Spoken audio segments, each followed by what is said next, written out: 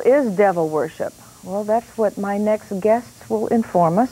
First, we have Dark Lord Blood. He's a seventh generation Satanist. Satanic worship goes back to his great, great, great, great, great grandfather. He grew up with this. Dark Lord Blood, I mean, you've seen these rituals. What, what is it? Well, it's a, it's a ritual of they may want to give something in a sacrificial sense to a demon, you know, such as to mimic uh, the biblical uh, sacrifice of Abraham.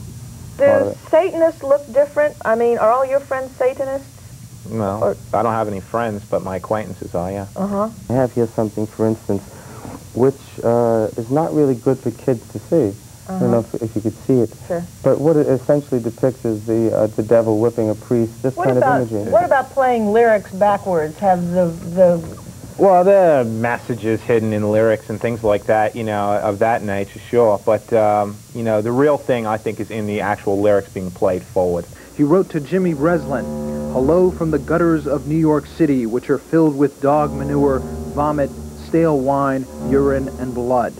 These were direct references to the satanic black mass at which dog manure, vomit, stale wine, urine, and blood are used in a desecration of the Catholic Mass. And, and, and this kind of knife is being sold for that reason. There's something called an But it's also being sold for healthy reasons.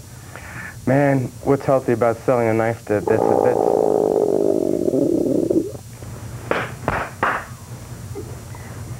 and he's growling, you know. So, I mean, people who growl kind of, uh, y- y- uh, I think people, one should be concerned about people that growl. But I just want you to know your growling doesn't frighten me at all. Oh, know. that's good. I'm Yeah. glad I wasn't attempting to. You, oh, thank you for being here. I'm Nola Thank. Roper, and this is the best talk in town.